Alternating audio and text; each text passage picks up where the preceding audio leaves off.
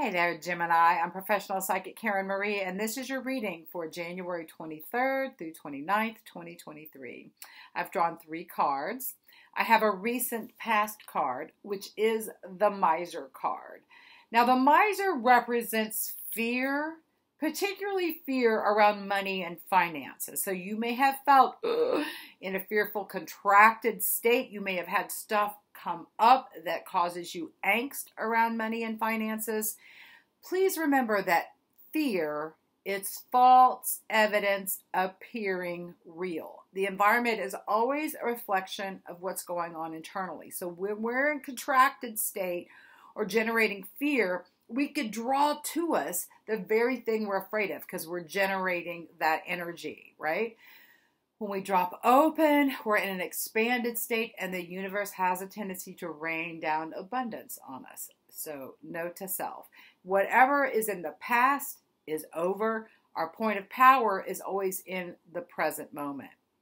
The card that's representing you right now is the friendliness card. So, this card talks about friendships and connections with others being paramount and important right now. Like you're relying on friendship, particularly a close friend, or even in an intimate relationship.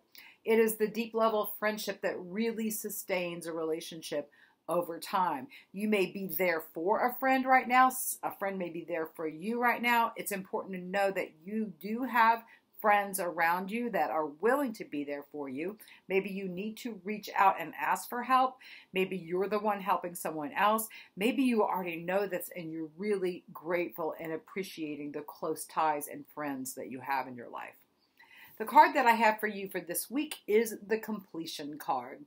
This is putting the final piece in a puzzle. So it could be bringing something to a conclusion. You could be ending a relationship, a job, a project, fill in the blank. You could be having that final insight piece, something you've been trying to get clear about. All of a sudden, you see clearly, and the insight and the puzzle comes together, and you're like, okay, I got this.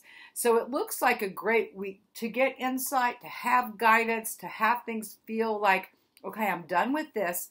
What's next? What's new? Have a great week, Gemini. Peace.